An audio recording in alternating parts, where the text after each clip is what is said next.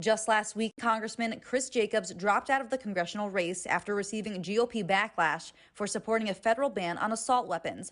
Now, Nick Langworthy is running against fellow Republican Carl Paladino. Paladino is no stranger to politics. He ran for governor in 2010 but lost against Andrew Cuomo. I did reach out to Paladino's office but was unable to reach their communications person.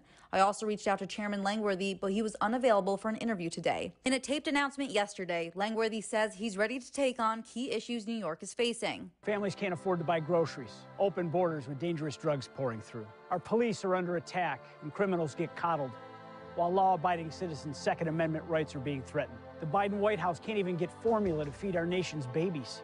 Incompetence and dangerous far left ideology are making us less safe, less prosperous, and they're threatening America's future. And when it comes to the newly drawn congressional districts, Jen Wilson with the Board of Elections tells me many New Yorkers were invested in the matter. We had a lot of people who called and wanted to see the maps, wanted to know where they could access the maps, were very curious about where their new district was and if they were going to have new representation, which of course everyone will because it is, everyone is going to have a, a potentially new person representing them in Congress after the election in November. Normally, a congressional candidate needs 1,200 signatures to get on the ballot. But with the newly drawn maps and less time to get petitions, a candidate only needs 1,062 signatures. It was a very short timeline to collect those signatures, particularly for party candidates. It was just about less than a month to collect those. But we have definitely seen some folks come in person. Some candidates also file in New York City or file at different county boards. So I think there'll be a fairly large slate of candidates that will be